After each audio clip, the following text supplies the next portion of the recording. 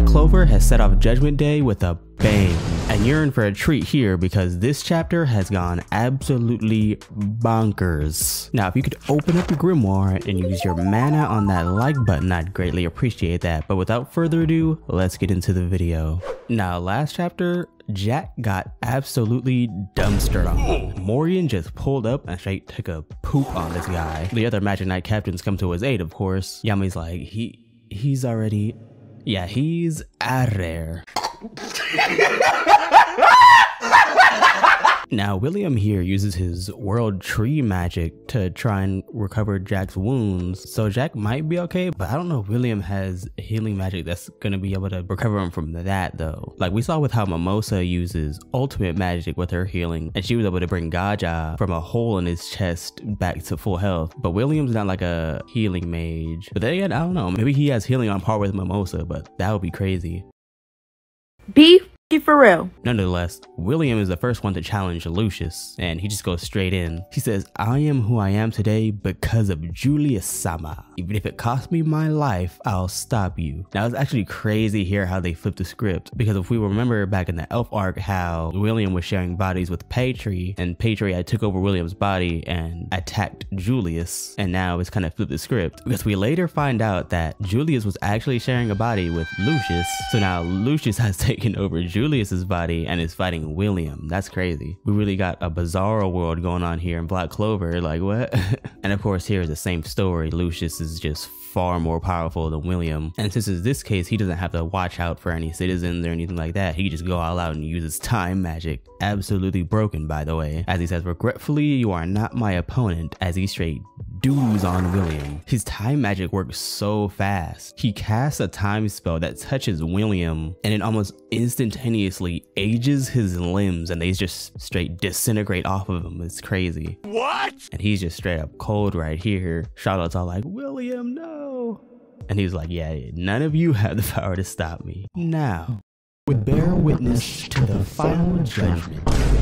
So as I thought, yeah, those weren't actually birds in the sky, they were angels. Now, I think this is what they were talking about when they said he could straight up make his own people. So his experiment must have been successful because we remember they were talking about how he was going to use the dark tree as power, you know, blood, bone, and body magic along with the soul magic to straight up create his own beings. And I guess that's what he did here. He straight up just made a bunch of angels and now they're flying around. So we see the other magic knights here and they're just bearing witness to this and they're frozen from fear. One of them here goes, there's no way we can stop them. We can't protect anyone. Right after they say that a beam is coming from the angels and it's just straight up like perish. And this is crazy because we straight up just see light beams showering from the sky like rain and it's coming down upon the entire Clover Kingdom. Absolutely crazy. Now I wonder if this is a combo spell between him and Morgan because obviously he created these angels here and of course Morgan has light magic so then they can combine that and probably do that but it didn't show that they were using a combined spell, but I don't know. Nonetheless, this is crazy because this is a countrywide attack that's aimed at all the citizens, all the Magic Knights, everyone. But out of the cut, we see Yuno's stars. And Yuno straight up pulls a Julius here. As we know, with his newfound star magic, he can use the stars to teleport objects or to even teleport himself or other people. But in this instance, he straight up covered the entire sky over the Clover Kingdom and used that to redirect the beams. And with that, he just casually nullifies that entire attack solo on his own, casually in fact. That's why he's the And the citizens here are just shocked. They're like, what? We're not dead? What was that magic? How could he prevent an attack that big? And as we can see, Yuno has both his grimoires out. I'd just like to remind everyone here, notice how Yuno is still in his base form. And me and Yami here were thinking the same thing. He's straight up like, it's only been a year and a few months, but the kid's gotten this much stronger. There's no way he just casually nullified that attack from Lucius in his base form. That's crazy. The real is the real one. Me. I'm him. I'm not them.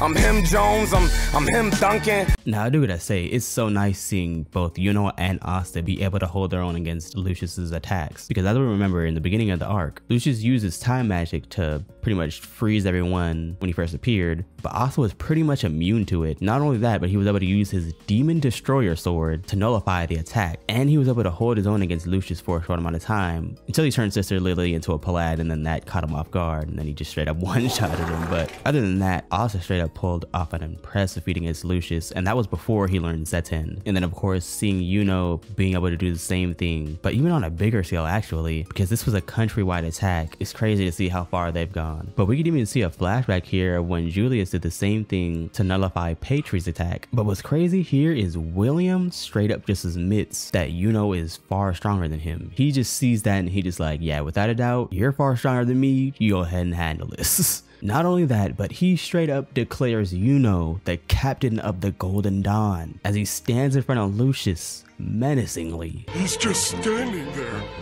Menacingly! Now that is cold. That boy just earned his title as captain of the Golden Dawn in a matter of seconds. That is crazy. We gotta know Asta's gonna be devastated to hear this. Now that'd be crazy to see Asta come back, pull off a feat, and just be declared the captain of the Black Bulls. Now that'd be awesome. But nonetheless, yeah, that is wild. So much is happening in such short amount of time. It's man. And we know Yuno here is not playing at all because we get a flashback here when Asta was seemingly killed by Lucius in the beginning of the arc. Not knowing that Sister Lily used spatial magic on him to teleport him away, their family pretty much assumed that he was Gonzo.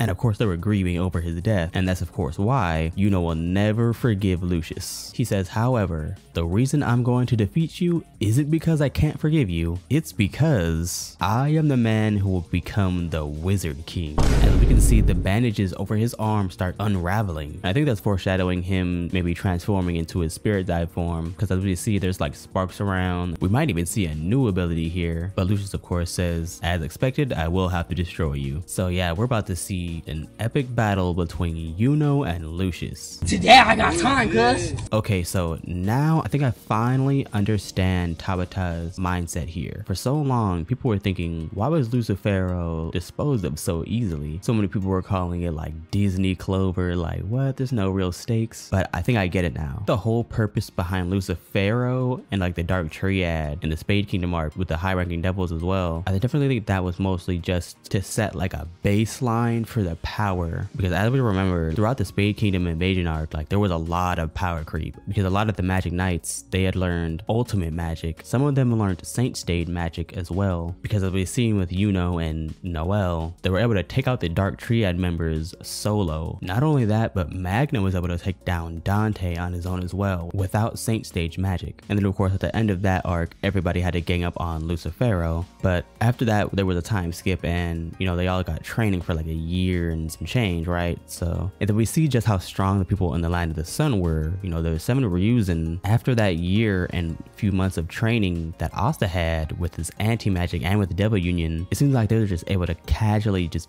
beat up on him. And then now we see what Yuno here is capable of. We see that Morgan can just one-shot Jack, a Magic Knight captain. The baseline for power has just been risen. And I think the whole Spade Kingdom invasion arc, the purpose for that was just to kind of set the stage like this is what the high level of magic power ultimate magic, saint stage magic. This is what all that is capable of. So we get a new villain here that's completely absurdly overpowered in every single way. We only have a few people who are actually able to hold a candle to him. Now, of course, Lucifer was also absurdly broken as well, but Lucius is a lot more strategic in how he moves and he has people on his side that provide value to him. So I definitely feel like this direction is definitely the way to go. Because things are going absolutely crazy right now.